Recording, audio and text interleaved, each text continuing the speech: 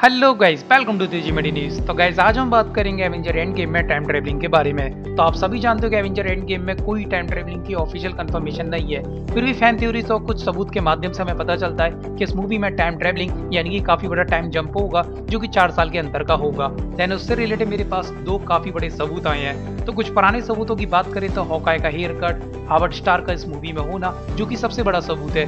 Then कुछ behind the scene photo जिसमें कि कैप्टन अमेरिका की शील्ड कैप्टन अमेरिका का पुराना सूट टॉनी स्टार शील्ड की कॉस्ट्यूम में देन लोकी का नज़र आना, क्योंकि लोकी मर चुका है। तो ये है सबसे पुराने सबूत। बट आज मेरे पास दो सबूत आए हैं, जो कि ये कैरेक्टर है मोनिका और दूसरा कैरेक्टर है माइल्स ये कैरेक्टर दोनों एवेंजर एंड गेम में बहुत अहम भूमिका प्ले कर रहे हैं। वो है 1970 का।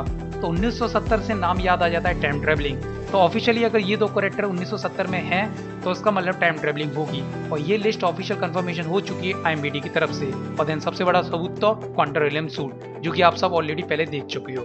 तो कैसा लगा अपडेट अगर आप ये वीडियो यूट्यूब पे देख रहे हो तो मेरे चैनल को सब्सक्राइब करें फेसबुक पे देख रहे पेज को लाइक करें। रियली में आपको ये वीडियो पसंद आया तो प्लीज़ लाइक कमेंट शेयर करो। जो बंदे इस वीडियो को नहीं देख रहे हो, या तो उस पर हल्के हाथ मारो या पैर मारो, पर और कुछ मत मानना। बाय जा रहा हूँ।